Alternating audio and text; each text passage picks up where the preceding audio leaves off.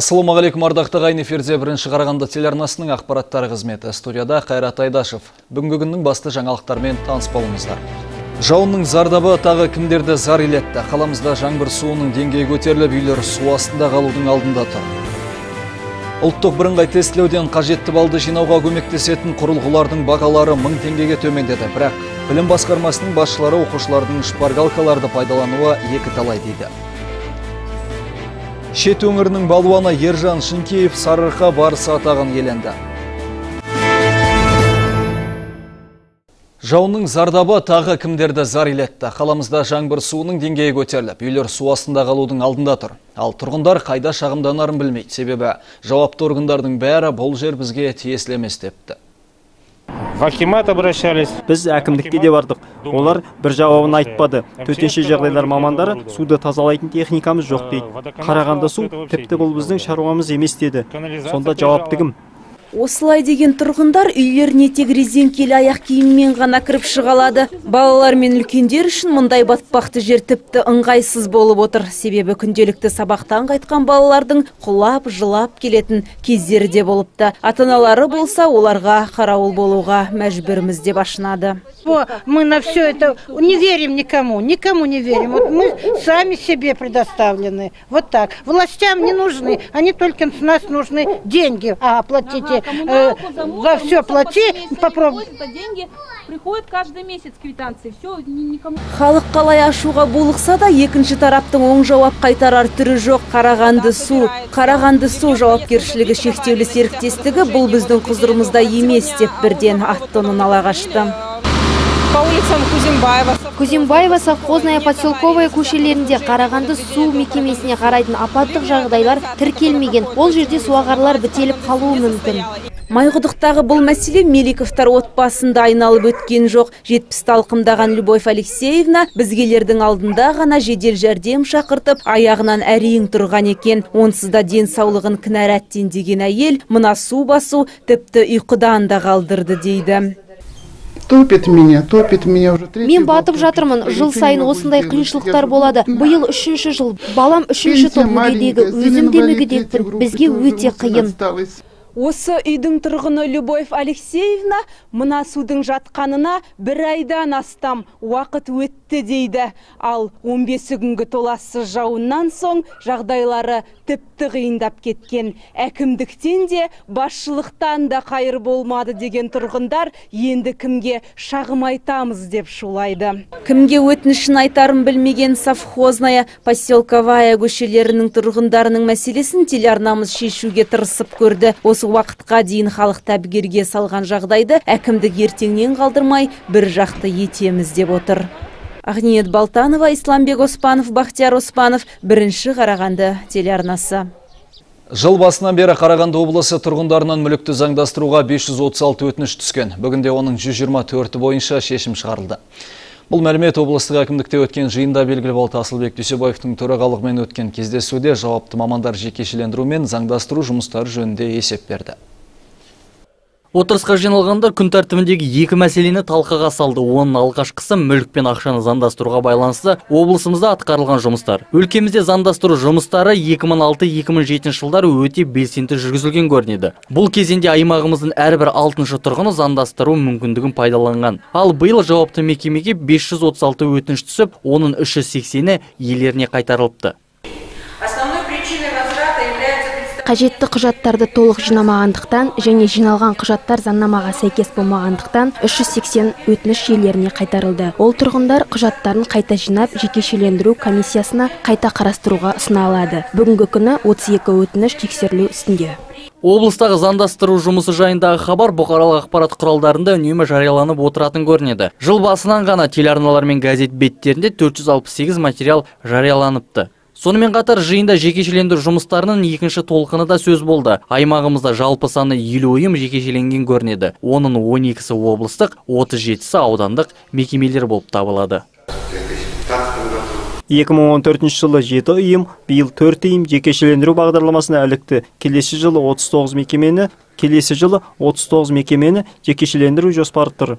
Облыс бойынша жеті ұйым сатылымға қойылып оның үшеуі жаңа қожайындарын тапты. Жауапты мекеме басшыларының есебін тыңдаған облыс әкімінің бірінші орынбасары оларға жаңа тапсырмалар жүктеді. Асылбек дүйсебаев өз мүлігін заңдастыруға немесе жекешелендіруге шешім қабылдаған тұрғындарға қатысты мәліметтер құпия болу керек деп тапсырды. Сонымен қатар жекешелендіру жұмыстарын насихаттауды да естен шығармауды ескертті. Алмас мұсабеков жасұлан мақұлбеков бақтияр оспанов бірінші қарағанды телеарнасы.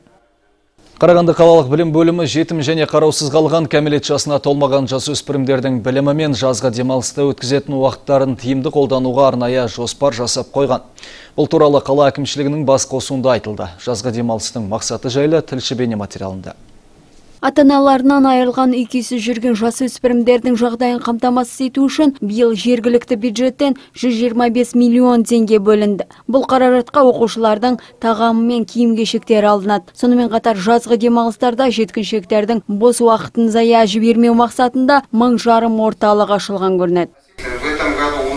Биылғы жылы қала бойынша мың жарымнан астам үйірмелер мен спорт түрлеріне шаралар ұйымдастырылады. Бұған 30 мыңға жоқ бүлдіршіндер қатысады деп жоспарланып отыр келесі көтеріліп отырған басты және маңызды тақырыптардың бірі балалардың психологиясы. Бұл тұрғыда ата аналармен де бірталай жұмыстар атқарылатын болады. Осы күндердің өзінде әлеуметтік психологиялық қызметкерлер оқу орындарында үнемі жұмыс атқарып жатыр. Аталмыш жиында қала әкімі нұрлан әубәкіров өткен жылы құқық қорғау органдарының ескертулеріне орай білім бөлімі басшысын сұрақ астына алды.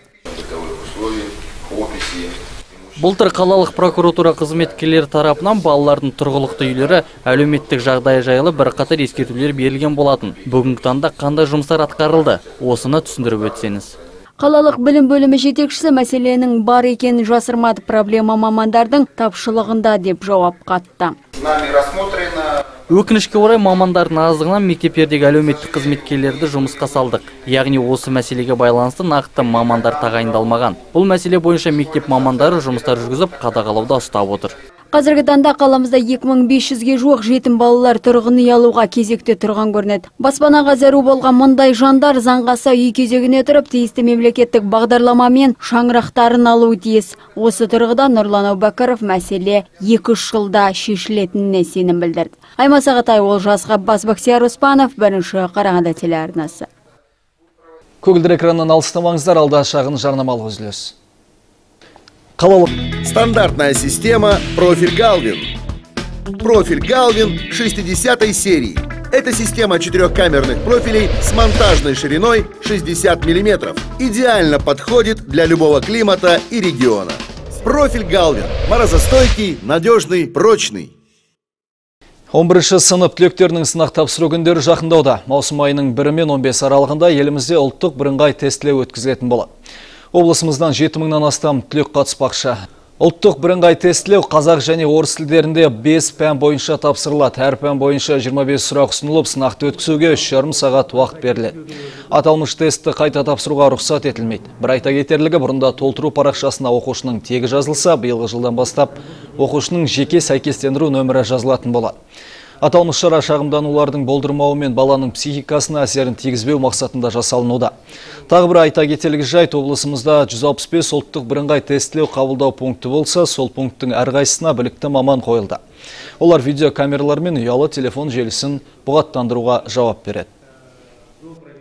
Біз бүкіл 165 ППНТ-ның видеокамераның жазылған дискілерін барлығы да міндетті түрде республикалық штабқа министрге жіберіледі министрлікке. Ол біріншіден. Екіншіден биылғы жылдың ерекшелігін айтатын болсақ биылғы жылы жүз алпыс бес адам міндетті түрде мынау білікті маман мынау видеокамераларды білетін жалпы глушительдерді білетін солардың бір маман міндетті бір маман әр ппнт ға баратын болады.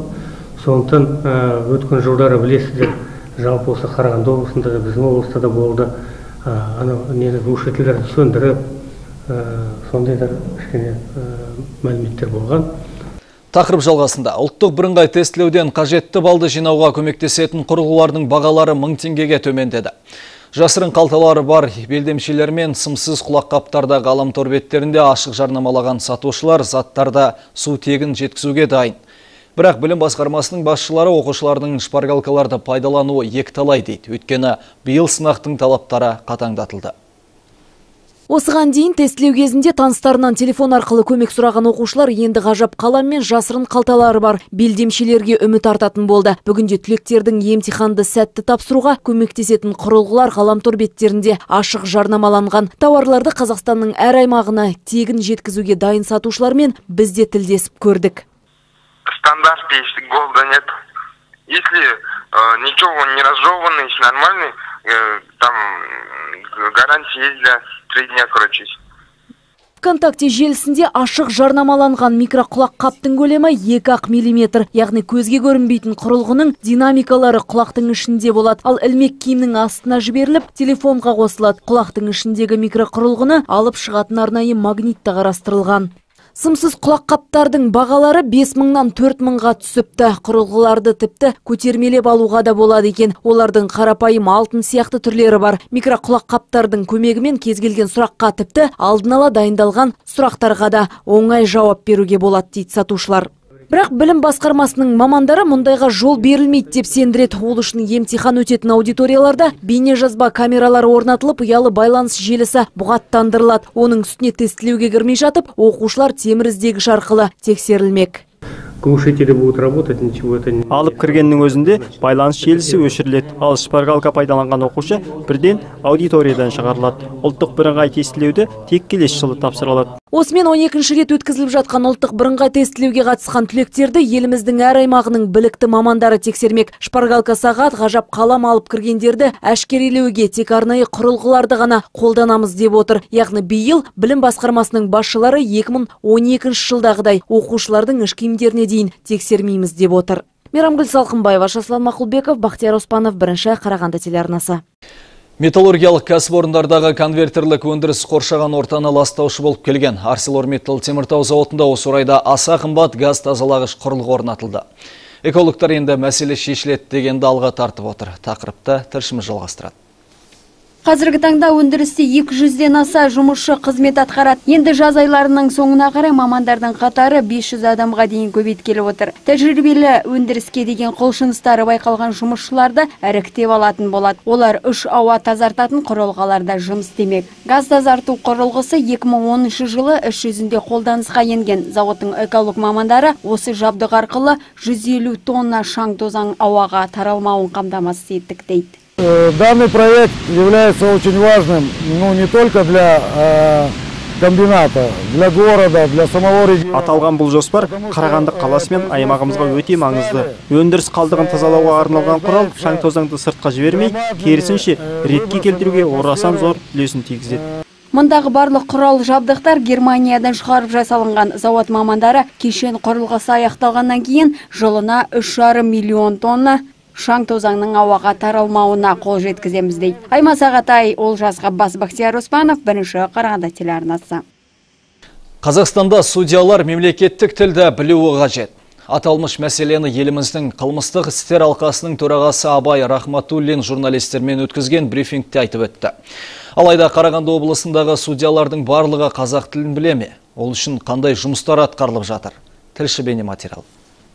Аймағымызда 270 судья қызмет атқарады. Олардың 218-і мемлекеттік тілде іс жүргізе алады. Бүгінде барлық судьялар қазақ тілінде оқытылатын курстардан өткен. Алайда ағымдағы жылы Қарағанды қаласының айналасында арызданушылардан түскен өтініш бойынша сот ісінің 93 пайызы орыс тілінде жүргізілген. Бұл жағдай әлі де қарағандылықтардың қазақ тілін білуге құлшынысының жоқтығын білдіреді дейді құзырлы орган өкілдері. Осы төңіректе 7 пайыз, оның себебі бұл жерде мысалы мынау үлкен мекемелер, заводтар ол жердің барлығы да жаңағыдегі адвокаттардың юристтердің басқа да мемлекеттік органдардың сотқа беретін құжаттарының орыс тілінде болуына байланысты.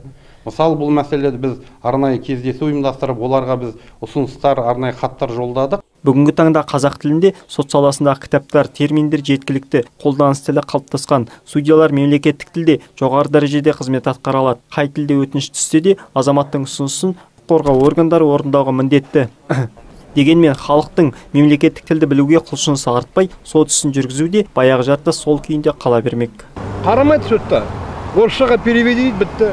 Сосын не істейсіз амалдың жолынан барасыз да орысшаға ауыстырасыз. Әрине қазақ тілін білген дұрыс деп ойлаймын. Өзі қазақстанда тұрғандықтан барлық азамат жүз пайыз қазақ тілінде жүргізген өте дұрыс деп ойлаймын. Мен өзім қазақ болғандықтан өзім сол түсіме енді құдай сақтасын бірақ қазақ тілінде жүргізілгенін қалаймын. Жаңабек наров исламбек оспан бақтияр оспанов бірінші қарағанды телеарнасы. Одан әрі жалғастырамыз. Франциядан Мұстафа Шоқай атындағы қордың төрағасы Яшар Динч Қарағандыға келді. Француздар қазақ халқының мәдениетін аса жоғар бағалайды екен. Қонаққа келген қандасымыз Қарағанды мемлекеттік университетінің ұстаздары және студенттермен кездесті. Мұстафа Шоқай қоры 2007 жылы Франция Ножан Сюрман қаласында құрылды. Қала Парижден 20 шақырым жерде орналасқан, ал ескерткіші 2010 жылы орнатылды. Биыл ескерткіш тұрған саябаққа Мұстафаның аты берілді. Қордың төрағасы Яшардинш Қарағанды мемлекеттік университетіндегі студенттермен кездесуінде Францияда қайраткерді еске алуға атқарылған еңбектер жайында атап өтті. Мұстафа Шоқай жалпы түркі халықтарының мүддесін қорғағандықтан бұл қорға түркі халықтарының өкілдері тіркелген. Сондай-ақ әлемдегі қайраткерді ардақ тұтқандар да ұсыныс білдіруде. Мұстафа шоқай қоғамын мына түркиядегі профессорымыз қазақтың мақтанышы профессор доктор абдулвahап қараның жазған кітабын оқып неше дүргін одан кейін барып мен осы қоғамды құрдым. Бір екі жыл бұрын біз мұстафа шоқай қоғамының атына қырғызстанға барып құрман шалдырдық жүздей қой сойдық. Ол жердегі кедейлерге жетімханадарға жетім балаларға тараттық енді биылғы құрманда тағы да келмекшіміз. Жарысын қырғызстанға жарысын қазақстанға. Қармудың тарих факультетінде тұлғатану орталығы жұмыс істейді. Олар қазақ зиялыларын және Мұстафа Шоқай жайында зерттеу жұмыстарын жүргізіп келеді. Тарихшылардың пікірінше, алдағы уақытта 16 желтоқсанда Мұстафаға арналған конференциялар өткізбек. Түркі халықтарының көшбасшысын зерттеуші шетелдегі ғалымдармен байланысты нығайтпақ. Шетелде жүріп Мұстафаның бүкіл еңбектерін зерттеп жүрген, соны жинақтап жүрген сондай ғалымдарменен солардың еңбектерін пайдалана отырып, жастарды тәрбиелеу негізгі мақсат осы міндетті түрде мұстафа шоқайдың өміріне де арналады. Яшар динштің айтуынша францияда 250 қазақ отбасы тату тәтті тұрып жатыр. Ондағы қазақ жастары француз түрік қазақ тілін біледі дегенмен қазақ тілінде сөйлеуге шорқақ. Европадағы қазақтар ата жұртты шақырса келуге дайын. Тек елдегілерден шынайы ықылас болса дейді. Алия исинова исламбек оспан бақтияр оспанов бірінші қарағанды телеарнасы. Кезекті спорт жаңалықтарына берек шет өңірінің балуаны Ержан Шынкеев Сарарқа барысы атағын еленді. Облыстық іріктеу жарысында жеңімпаз атанған спортшы қазақ күресінен ел президентінің жүлдесі үшін өтетін республикалық турнирге жолдама алды. Екінші жолдама іріктеу жарысында екінші орын алған жаңарқалық балуан Асыл Барменовке бұйырды. Ұлттық спортымыз қазақ күресін республикалық Қазақстан барысы турнирі бұйыл 5 мәрте өткелі тұр. Аталмыш додаға қызығушылық танытқан спортшылардың қатары жыл сайын артып келеді. Себебі доданың бүгінгі күнде сыйақысы мол, демеушілері де жетерлік. Жеңімпаздар Астана қаласында өтетін жарысқа аттанады. Онда еліміздің әр облысының намысын екі балуаннан қорғайды. Енді бұл қазақ күресі қазір біздің еліміздің брендін айналды. Евразия барысы өтеді, әлем барысы өтеді азия чемпионаты әлем чемпионаты. Әрине жылдан жылға балуандардың саны да өсіп келеді. Балуандардың техникалық сапасы да өсіп келеді. Турнирге 200-ге тарта спортшы қатысты. Бұлардың барлығы да аймақтық аудандық жарыстарда жеңімпаз атанып іріктелгендер. Балуандар 8 салмақ дәрежесі бойынша үздіктерді анықтады. Енді бас жүлдені алу үшін келіп отыр ғой бәрі? Сол үшін дайындалып отырмыз. Қарсыластар бар енді мықты мықты қарсыластар бар. Бүкіл жақтан қазір келіп жатыр осы қарағанды облысы ең мықтылар осы жерде жиналып жатыр қазір. Енді енді каждыйына отдельный настрой болып отыр қазір. Аса ауыр салмақта белдескендердің күресі тартысты болды. Себебі бәске атақ пен республикалық турнирге жолдама тігілген. Биылғы қазақстан барысында облысымыздың намысын қорғайтындардың есімі де белгілі болды. Олар облыстық жарыста бірінші және екінші орынды иеленген ержан шынкеев пен асыл барменовтар.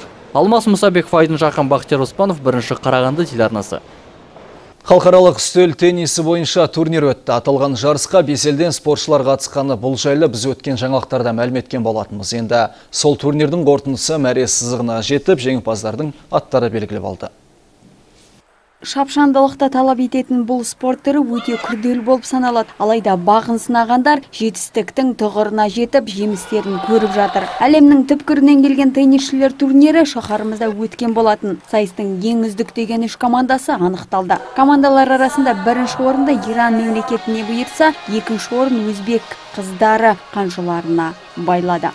Ал үшінші орын қазақстанның ойыншылары иеленді. Алайда азия ойындарына өкінішке орай еліміздің спортшылары.